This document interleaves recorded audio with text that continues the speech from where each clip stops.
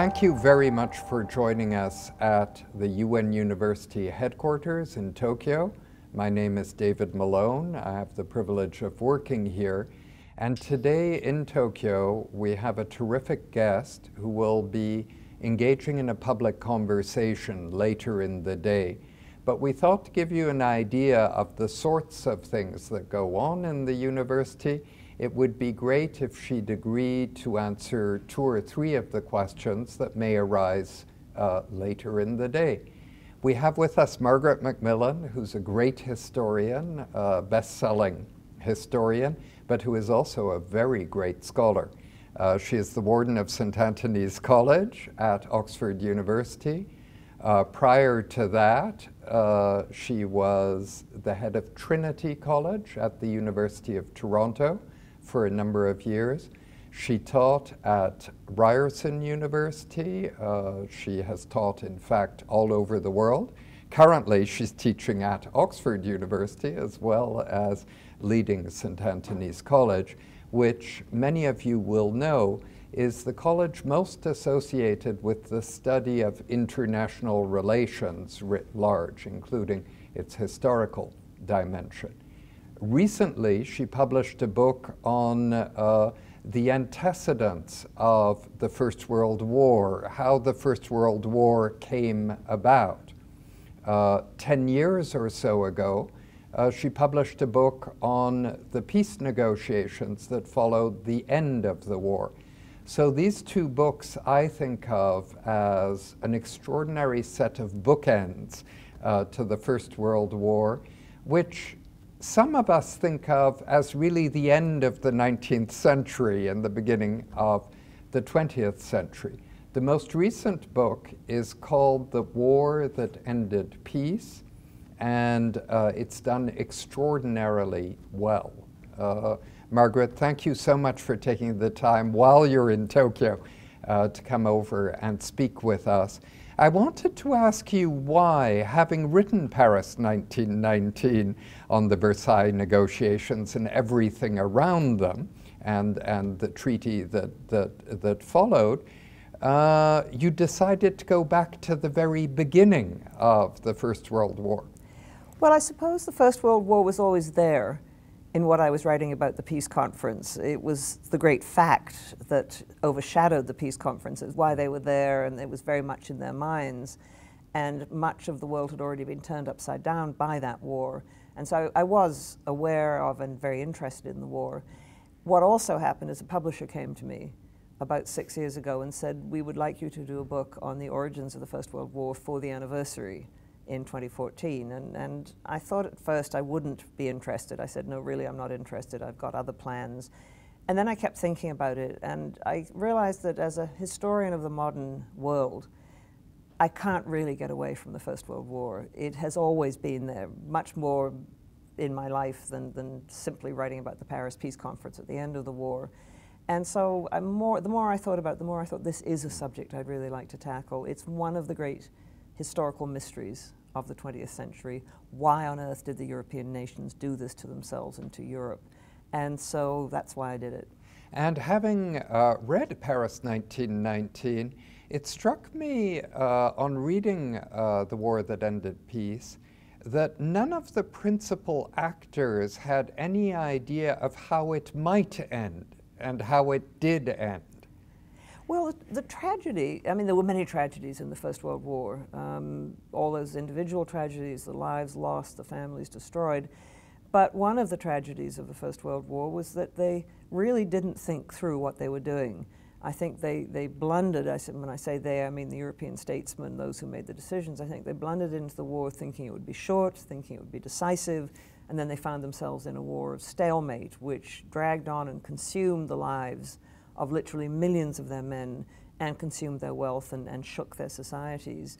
And as the war dragged on, I think they became so fixated on, on surviving and attempting to win or attempting to avoid defeat that they didn't really think clearly about what sort of world would lie beyond the war, what, what the world would be like. I mean, they had some war aims, and of course, the longer the war went on, the bigger those aims got because they felt they ought to get something out of it.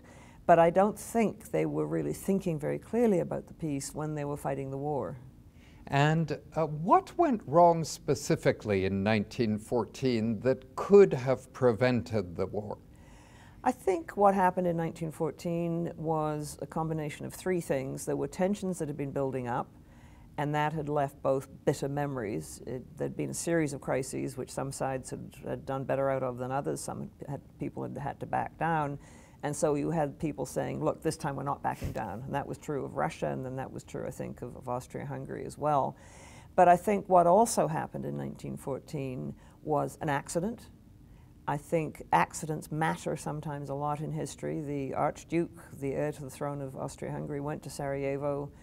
An assassination attempt took place. He escaped the first time. He was leaving town. His car took the wrong turning. It was sitting there still, and one of the assassins jumped up and, and killed him. Without that accident, I think Austria Hungary would not have had the excuse it needed and wanted to try and, and bring Serbia under control mm. or even destroy it. And so I do think that little accident actually made possible a lot that followed. And then the third thing is that people made decisions, and they made bad decisions. Austria Hungary, or the key people in Austria Hungary, decided to try and destroy Serbia. Germany promised to back Austria Hungary even knowing that Russia might come in, Russia decided to back Serbia, and so you have a cascading effect as a result, in my view, of very bad decisions. And some of those alliances, in a way, had echoes in more recent history in the Balkans, uh, a uh, hundred years uh, later, or yeah. nearly a hundred years later, with the Russian Federation lining up more yeah. or less with Serbia all over again. Yeah. Well, the danger, I think, of, of, of, troubled parts of the world, of course, is that they're, they're a terrible menace to their own people, but they also run the risk of drawing in outside powers. And the Balkans, because of where it was, it's a crossroads mm. between the southwest of Europe and Asia, um, very, very important uh, part of the world strategically.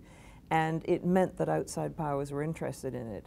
And the other danger is, of course, when you get great powers backing small powers or being patrons of small powers, they're caught in a funny sort of way, and they protect these small powers, but they've got to then step up and look after them if something begins to go wrong. Mm. And so it often makes the smaller powers reckless. I think Serbia was more reckless in the way it behaved, knowing that Russia was behind it. And Russia felt itself obliged as a great power to stick up for Serbia. So it was a very dangerous combination of factors. Now, um, there are two books you wrote in between these books hmm. because you've been very busy indeed. One was a fantastic account of the visit of President Nixon to China uh, and what prepared the visit. And you had two extremely controversial figures coming together, yeah. Nixon and uh, Mao. This was something completely different from your earlier writing, and I wanted to ask you what caused you to become interested and then write this fabulous account. That's very kind of you. I think if, if, I'm, if there's a consistent theme through what I write is I'm, I'm interested in this uh, combination of the individuals and their times. I, mean, I, don't think that individuals on their own make history, but I do think that you, at certain moments in history, get individuals who are able to ride the currents of history in a particular way or other, direct them in one way or the other. And I'm also interested in moments that actually do seem to change the world or change the, the, the, future of the world. And I was interested in Chinese history. I used to teach it. I was also interested in the history of the Cold War. And it seemed to me that this moment in the Cold War where the United States went from an attitude of complete hostility to China and, and vice versa really helped to transform the Cold War because it suddenly became a three-cornered relationship. It was no longer just the United States against and its allies against the Soviet bloc. It was now a third player, China, which really I think made things very different. And I was also very interested in the characters of Mao and Nixon because I think certainly in China, if Mao hadn't wanted improved relations with the United States, that wouldn't have happened he, at that point in China, at the end of the 60s, beginning of the 70s, exercised such control over the major decisions. And on, oh, on, the other hand, I don't think if you'd had a different president, you would have had someone who could successfully have carried American opinion, opinion with him and persuaded enough Americans that it was the right thing and the sensible thing to do to have an American rapprochement with China. So I think the forces were there. It was probably going to happen but it may not have happened when it did without Nixon and Mao. And as it turned out, it was Nixon's best moment uh, yeah. in, a, in a troubled presidency. Mm -hmm. Now, the other book I wanted to refer to was your short but I thought terrific book on the uses and abuses of history. Yeah. And it's something clearly you feel very strongly about. So I wanted to ask you a few years later uh, what still resonates with you from the experience of writing it. Well, if I were writing it now, I'd have a lot more examples. the, the, the, ways in which history is used, I mean, I think history can be used for uh, warning, like a signpost. You know, if you go into a country when they don't want you, you may run into trouble. Uh, you know, just simple warnings like that. It can help you to understand the people you're dealing with. Because we're, we're formed, I think, and nations are too, in a very large part by our memories by what's happened to us. And so if you want to understand Russia today, if you want to understand Putin today, you have to know something of Russian history to understand where he's coming from and why so many Russians support him. And so I think history is helpful like that. And I think history also is misused by statesmen and others who use it to justify what they want to do.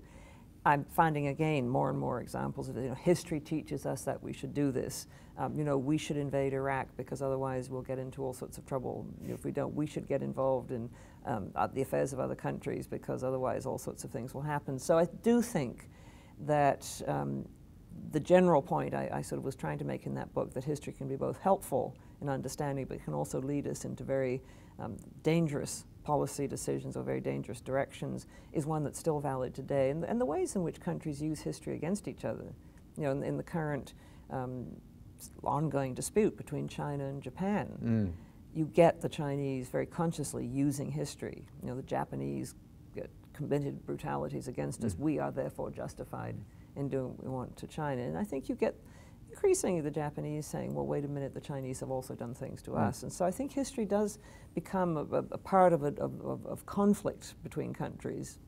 Yes. And uh, also, in a sense, uh, history can help sometimes bring countries together. We saw that on the anniversary in Europe of the Second World War last year, where uh, Germany was included in uh, Allied celebrations. Yeah. I think it is important, and I think history can be a means of reconciliation. Um, I think what it means both sides have to be prepared to, to treat the other side's story as equally important. And there's going to be a very important um, ceremony in Gallipoli in April next week, in April 20, 24, 2015, where the Turks, the Australians, the French, the British, those who fought on different sides at Gallipoli during the First World War will actually be coming together to commemorate it. And I think this is a very good thing. This will be not a commemoration of we won, you lost. It will be a commemoration of people who fought in a cause and, and died. And, and I think be, uh, be also a sad commemoration, a commemoration of the loss that all sides suffered in this. And so, no, I do think it's very important to try and use history as, as a way of healing and a way of understanding each other and working together. Great. Margaret, thank you so much for being with us today in Tokyo. It's a great privilege for us. And for those listening to us or looking at us online, uh, I hope it gives you a sense of the sorts of issues that beyond our day-to-day -day work we're very interested in at UNU we try to bring uh, valued friends and experts from around the world uh, to help educate us. And Margaret, you're, you're doing a wonderful job of that today. Well, it's a privilege to be here. Thank you so much for inviting me.